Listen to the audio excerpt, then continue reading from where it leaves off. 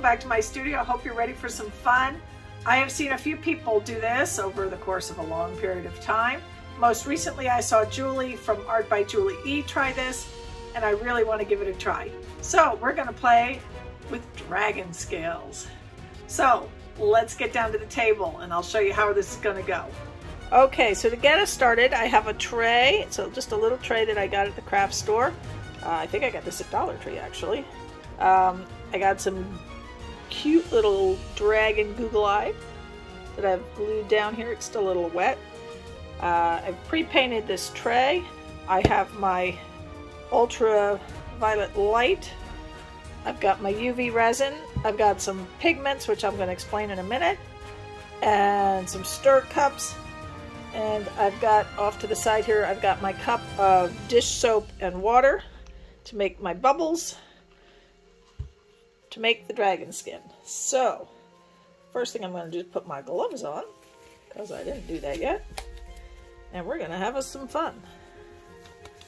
So, step one is we have to mix up some of the pigment. So for that, I'm going to wear my mask. Because whenever you're working with dry pigment, be sure to put a mask on.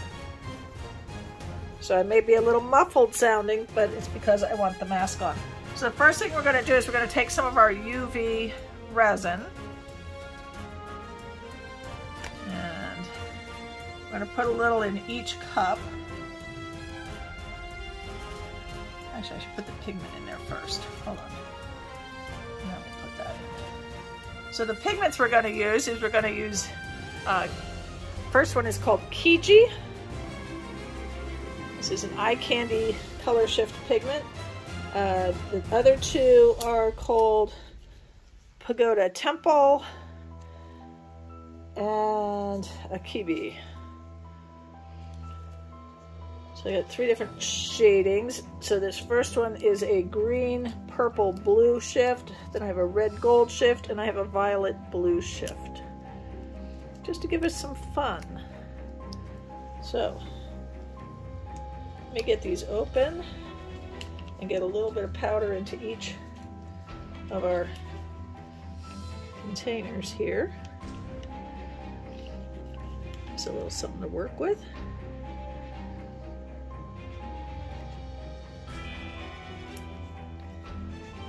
And then a little UV resin.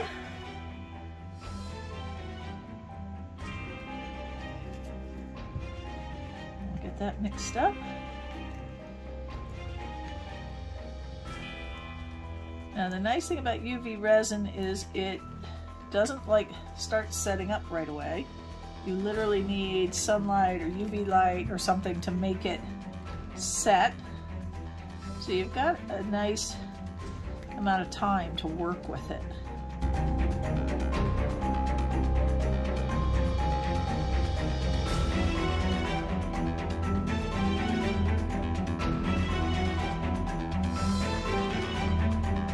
Now, unlike working with regular resin, you do not need to wear a special masking when working with UV resins. They're a lot safer than a regular resin.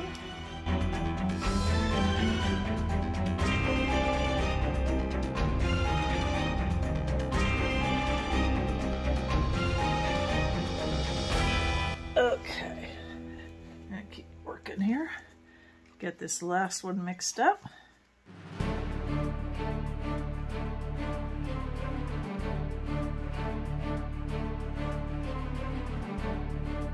So you don't want to try and do this all at once. You want to do small sections at a time.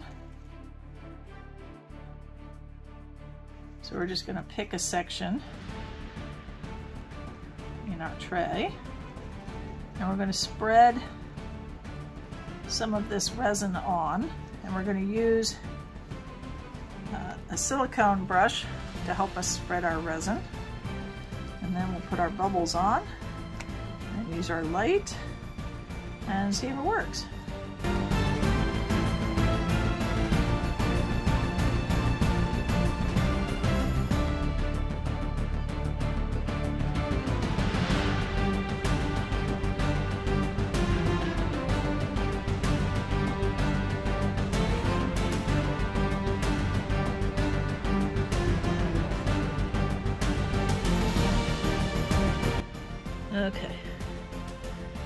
We've got that in.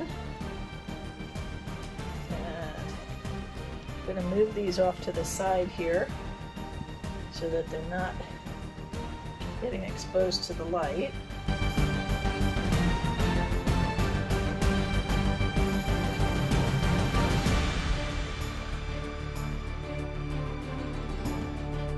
I take our bubbles. I'm going to make some bubbles here.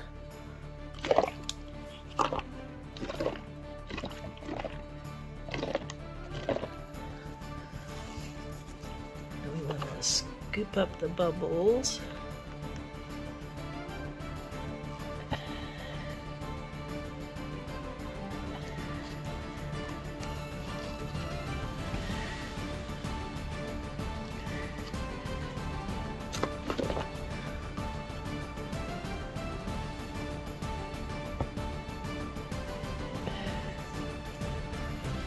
Good. You want to quickly get your light over top there as the bubbles are popping. Okay, I don't know how much you can see that, but that's a cool start. So now we're going to put some more around and do some more bubbles and uh, keep working. One thing I want to do is move off these bubbles that on here. And it's almost completely dry. So all right, let's put some more on.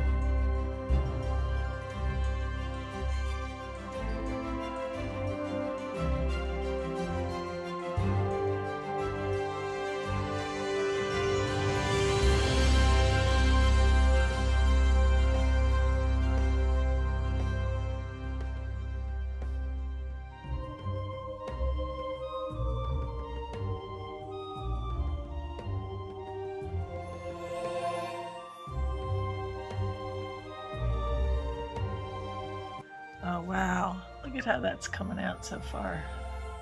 I think I want to redo over here a little because I got so many more small instead of big bubbles. And the nice thing is you can just take and put a little bit more where you want a little more. And just redo. It's no biggie to give yourself a little something more.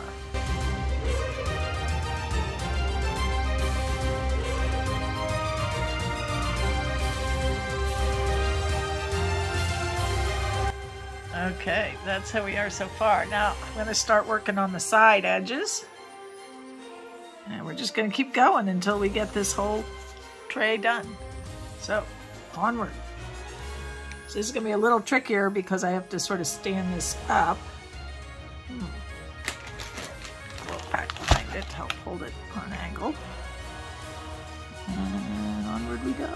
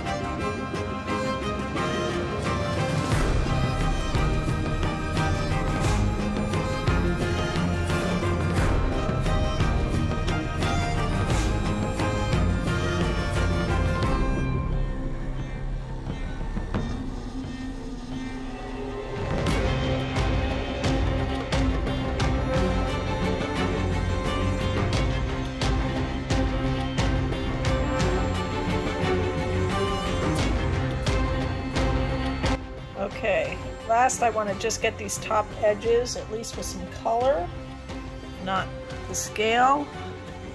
I don't want them to be so bland. So we're just going to put a little something along the edge here.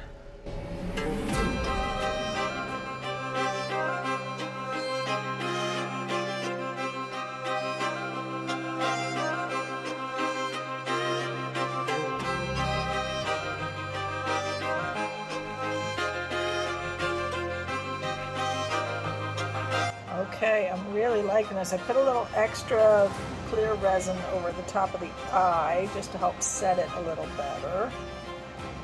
So it's a little brighter looking right there, but I am going to resin the whole thing eventually. But that is looking pretty cool to start with. And I think I'm going to work further and do some on this outside edge. Um, but looking cool so far. Let's keep moving. All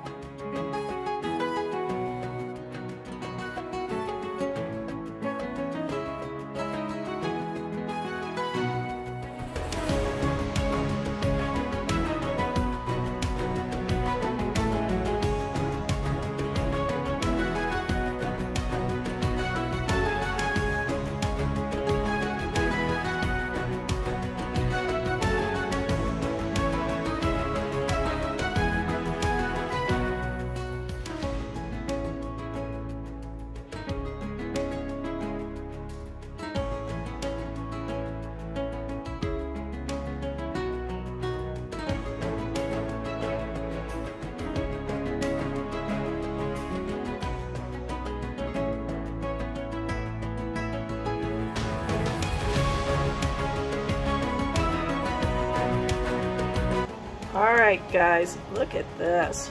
I'll give you a quick, this is almost completely dry. Probably gonna give this a coat of resin after it sits for a little while.